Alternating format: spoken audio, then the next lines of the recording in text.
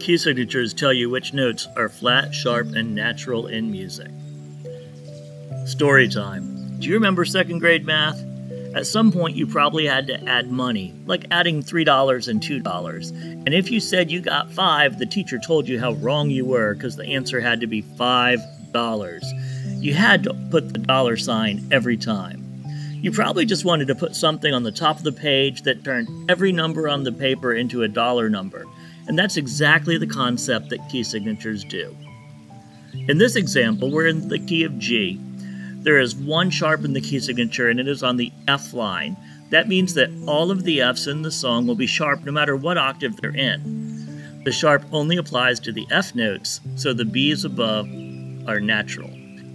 These notes would be F sharp, F sharp, F sharp, F sharp, B, B, B. On this slide, we're in the key of B flat, which means that all of the Bs are B flats and all of the Es are E flats. We no longer have that F sharp.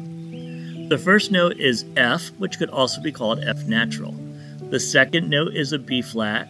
The third note is a B flat. The fourth note is a low B flat and the final three notes are all E flats. In this example, we're in the key of E flat, where all of the B's, E's, and A's are flat.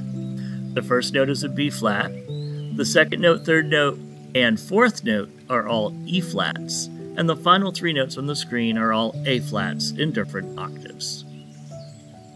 When I introduce this concept to students, I like to talk about field trip bus trips because in every group of students, there seems to be at least one kid that remembers being on a field trip, being on a bus, and a kid that had to go so bad that when they rushed off the bus and ran in the restaurant, they went in the wrong door.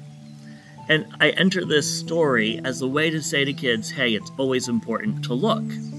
So here we have some examples from fast food restaurants where the men are on the left and the women are on the right, if you want to get to know your students a little and add a social emotional component, they could like make lines to create a human bar graph of who thinks the men should be on the right or the left.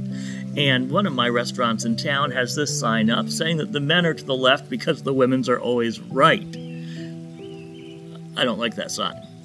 But there's also lots of cases where the women are on the left and the men are on the right. So if you have to go to the bathroom, you have to pause and look at the sign as you're entering, even if you have to go bad and you're running and you look while you're running. And it's the same with music. You have to look at the key signature before you play. Remember and apply the key signature while you play.